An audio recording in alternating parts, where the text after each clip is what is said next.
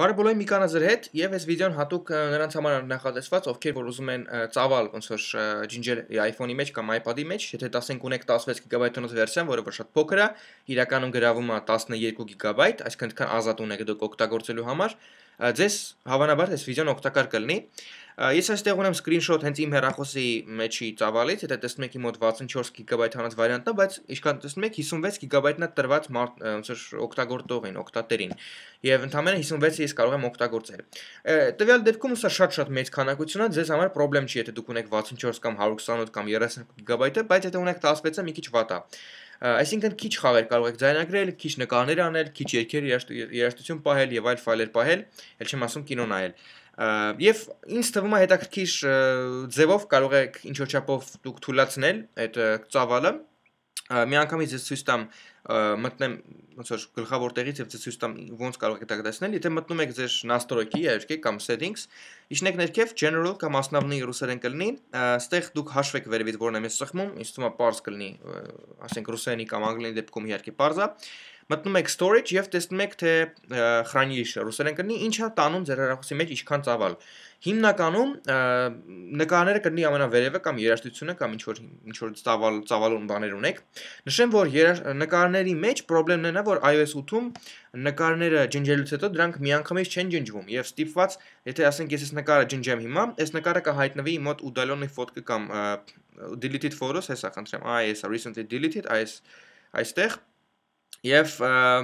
ոնց որ դուք ընդեղից պետքա նորից ջնջեք իրան առանձին պետքա նրանից ջնջել որպեսզի ծավալը ոնց որ տեղը որ նկարագրավում էր ինքը հաշվի առնի եւ ոնց որ հանի ծավալից մյուս եղանակը որ ես խորհուրդ կտամ իհարկե ջնջելու կամ նայելու արդյոք ջնջել թե ոչ դա իհարկե ծրագրերը որոնք որ ձեզ խանգարում են ջնջեք այն ծրագրերը որոնք որ դուք չեք օգտագործում կամ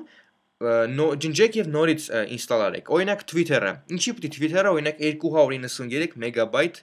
տարած գրավի։ Օրինակ ինչի համար։ Twitter-ը on-line ծրագիր է, մտնում եք, նայում եք ինչ որ գրածներ եւ այլն։ Ծրագիրը ընդհանրապես եթե տեսնում եք վերևը գրած է 73.6 մեգաբայթ է գրավում, բայց document data, որը որ հավաքվել է ժամանակի ընթացքում 293։ Դա շատ-շատ է, դա մոտավորապես մոտավորապես երևի 150 նկար կլինի, ինչքան ինքը ծավալ է գրավել։ Եվ ամեն մեգաբայթը, եթե դուք ունեք 16 գիգաբայթանոց հեռախոսը, ամեն մեգաբայթը ձեր հաշվին պետքա ոնց է ստուգել եւ եթե ավելանում է մի բան, պետքա ջնջել։ Տվյալ դեպքում ինչ անեք, եթե ձեր մոտ այսքան լծվել է օրինակ Twitter-ի վրա կամ Instagram կամ Facebook, օրինակ Facebook-ը ինչի է այսքան ծավալ գրավի, չգիտեմ։ Դուք ընդհանրապես ջնջում եք application-ը, խնդրեմ, սխում եք delete app, ես չեմ ջնջի իհարկե։ Ջնջում եք Եվ նորից եք մտնում քաշում Facebook-ը, գրանցում ձեր անուն ազգանունը կամ ձեր լոգինը եւ այլն, կամ հեռախոսի համարը մտնում եւ այստեղ կլինի 0, այսինքն ձեզ ընդհանրապես 133 մեգաբայթ հենց հիմա իմ մոտ զրի կավելանա հեռախոսից մեջ, եթե ես դա անեմ։ Իսկ Twitter-ի վրա, Twitter-ի վրա որ вообще 293 մեգաբայթ։ Դա շատ լավ է, դա շատ հեշտ, արագ ազատ ջնջելու ոնց որ եղանակ է, որտեղ ասենք կարող է նկար անեք, ասի հոպ տարածք չկա կամ ծավալ չկա ինչ որ բան քաշելու համար, սենց հիշեք, որ սենց կարող եք ջնջել ծրագրերը, որոնք որ Հավայի տեղ են գրավում, ձեր, ասենք կամ Հավայի չի կամ ասենք ինչի պիտի Viber-ը օրինակ իմ մոտ 94 մեգաբայթ գրավի։ Ես չեմ հասկանում։ Ինքը որ ցավոք չի բացատրում այդ 94-ը ինչ է։ Օրինակ ես կհասկանամ, որ քարտեզնի դեպքում այս ծրագիրը քարտեզա քաշում 581 մեգաբայթը դա քաշած քարտեզն է, ես դա հասկանում եմ եւ իհարկե պետք է այդ ոնց որ կայացել վճարեմ այդ մեգաբայթները, որպեսզի պահեմ քարտեզը եւ օգտագործեմ օֆլայն բայց ծրագրեր կան, որոնք որ անիմաստ են։ Նենց որ ինչ կասեմ էլ, եթե ուզում եք, եթե 16 GB-ից ունեք կամ 32-ը կամ կապ չունի, եթե ուզում եք, ասենք քիչ որ ծավալ գրավեք, ապա օգտագործեք հետևյալ դա բաները քաշեք տարբեր ասենք online cloud-ներ կամ ասենք obligatory service-ի ռուսերեն Dropbox-ը կլինի cloud mail-ում կլինի օրինակ ասեմ դες cloud mail-ում ամենալավն է որտեղ ինքը տալիս է 100 1000 GB cloud mail-ում, այսինքն 1 TB։ Եվ օրինակ ես Այս օբլակը mail-ուրի մեջ բան եմ արել, իմ նկարներն եմ գցել, ես այ խնդրեմ 2007, 2008 սաղ իմ նկարները ստեղ կա, ինքը մի տերաբայթ կարես է տալիս է եւ ինչ եք դուք անում նկարում եք գցում եք ասենք 2014 թվականի կամ 15 թվականի 15 թվականի նկար ասենք չգիտեմ բանակի մեջ ինքը պահում է ինտերնետում այստեղ կոնկրետ mail.ru-ում պետք է լինի մտնում եք ձեր այս պապկան եւ նայում եք տեղից ձեր նկարները որոնք որ դուք նկարել եք եւ կարող եք ընդհանրապես ձեր հեռախոսի մեջ ընդհանրապես ոչ մի նկար չպահել Դա էլի ոնց որ ձև է, կարող եք քաշել ծրագիր, on-line սա գցել եւ նկարները ոնց ջնջել ու ընդհանրապես ձեր iPhone-ի մեջ տեղ չի գրավում։ Նույնը կարող եք անել երաժշտության դեպքում։ Երաժշտությունը չեք քաշում։ Մարդիկ կանից հարցնում են ոնց քաշեմ եք լսեմ։ Ես ճիշտ ասած չեմ քաշում։ Ես ինչ եմ անում։ Ես մտնում եմ Melamana կամ այլ ծրագրեր կան, որոնք որ VKontakte հետ են կպնում։ Ստեղից ես երաժշտությունները Եթե որոնք որ ուզում եմ իհարկե, սխմում եմ այս աստղի վրա նմանատիպ ծրագրեր կան, օրինակ սա չգիտեմ կա թե չէ, App Store-ում, էսի շվաղոցված ծրագիր է, սակայն հնարավոր է չլինի տենց բան կա App Store-ում հնարավոր է որ ջնջեն ծրագրերը, որ ձեր մոտ ասենք մանգակ չգտնեք։ Մի խոսքով, այս ծրագիրը նմանատիպը համոզված եմ կգտնեք App Store-ում, կոչվում է VK Music կամ VK Music Downloader կամ ինչ-որ տես մի բան էլի, VKontakte Music։ Եվ ասենք կարող եք ստեղով երաժշտություն լսել, սխմել երաժշտություն լսել ցանկացած ժամանակ, եթե ուզում եք ինտերնետով իհարկե։ Եթե ուզում եք պահեք, սխմեք աստղի վրա եւ խնդրեմ հեսա, սրանք որոնք որ ես ուզում եմ պահեմ այս երաժշտությունները, եւ լսում եմ։ Իսկ այս դեպքում, ասենք, եթե պետք է արագ ջնջել տարած կամ ուրիշ երաժշտություն քաշել դրա տեղը լսել, պրոստը sense ջնջում եք իրանց, ոնց որ սովորական ոնց որ ձախ սվայպ անելով դեպի ձախ մատը, այդ ասենք, այս tune-ի վրա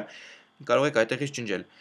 Սա եւս մեկ վարիանտ է, VKontakte-ի հետ կապած application-ները կամ հենց VKontakte-ով կարող եք լսել երգ եւ ձեր հեռախոսի մեջ ընդհանրապես երգ չպահել,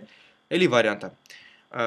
Ինձ թվում է այսքանն էր։ Ես ուրիշ բան էլ չեմ կարող խորհրդամ, որովհետև փորձեք երևի քիչ տեղ գravel կամ քիչ մեծ բաներ քաշել կամ քաշել, հետո անպայման ջնջեք եթե մնացել է ֆայլերը։ Вообще ծրագրեր կան Mac-ի եւ համակարգչի PC համակարգչի վրա Windows, որոնք որ ձեր iPhone-ը իբր թե գրածա մաքրում են եւ այլն, ես դրանց չեմ հավատում եւ ձեզ խորհուրդ չեմ տա դրանք հավատալ։ Դրանք հնարավոր է շատ բաներ ջնջել, հնարավոր է որ չասնեն մի բան։ Ես ճիշտ ասած մի երկու անգամ փորձել եմ իմ հին iPhone 5S-ի հետ ու տարօրինակ բաներ տեղի ունեցավ, իր համար դες խորհուրդ չեմ տա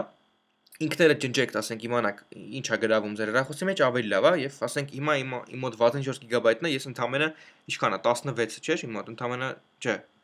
44 գիգաբայթ 44 գիգաբայթ ազատ է, բայց ես ունեմ մոտավորապես տենց 20-30 նկար, մի 4-5 հատ վիդեո 5 րոպեանոց, հիմնակ 10 երգ թե ինձ քաշած որ տեսակ 10 երգ եւ քարտեզ Էդ է իմ ծավալը գրավում։ Ինչպես ինչպես տեսնում եք, համարյա էլ ոչ մի բան չկա։ Հենա 15 փոքր վիդեո, գրածա վիդեոս։ 312 ֆոտո, հա, փաստորեն 312 ֆոտո կա։ 75 application ունեմ։